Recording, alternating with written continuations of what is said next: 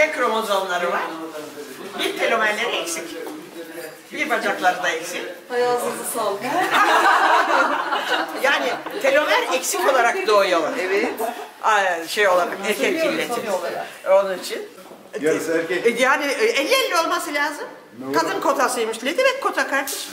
Kadın koluymuş. Kadın kolunu ben kabul etmiyorum. Ne demek kadın kolu? Aman. Değil mi? Ne demek kadın kolu? Çok haklısın. Sen kendi koluna bak. Bir, bir kolun eksik zaten. Akademiyi gezdim, gördüm ve e, hakikaten çok duygulandım.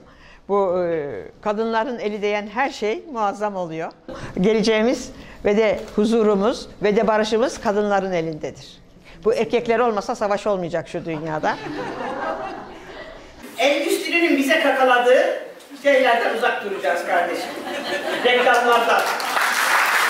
Başta şişmanlık, kalp krizi, Alzheimer, depresyon, artritler hepsinin temelinde yanlış ve ters beslenme yaptığı için ben konuşuyorum. Köy tereyağı yenecek.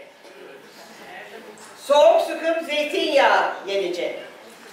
Bol bol zeytin yenecek. Yani bunlar ülkemizin cenneti bunlar yasaklandı. Bunlar yasaklandı. Doğal hakiki besinler yasaklandığı için. Çünkü e, hastalıklar çoğaldı. Sağlıklı beslenme olarak gaz diyetini önerir misiniz? Ben diyet önermiyorum ki. Hiçbir diyet önermiyorum. Bir kere aşıların içinde alüminyum var. Aşıların içinde civa var. Şimdi eskiden civa vardı. Şimdi daha ucuz diye alüminyum kullanılıyor. Biliyorsunuz alüminyum Alzheimer sebebi, hastalık sebebi. Size sarıyı yasakladık da hepimizi aptallaştırdılar.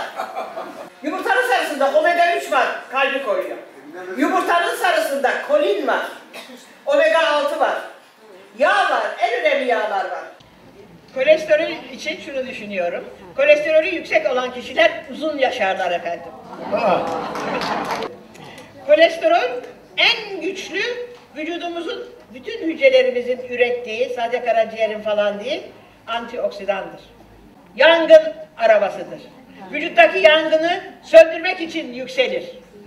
Eğer yüksekse bilin ki vücudunuzda yangın yok, uzun yaşarsınız. Hanımlar da beyler de. Onun için kolesterol ilaçları tehlikelidir, kanser sebebidir, erken öldürür kolesterolü düşürdüğü için. Bunları ne yiyeceğiz yani? Yok doğal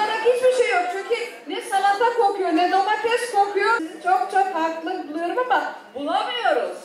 Doğal bir şey yok. Bütün doğal olanlar İstanbul'a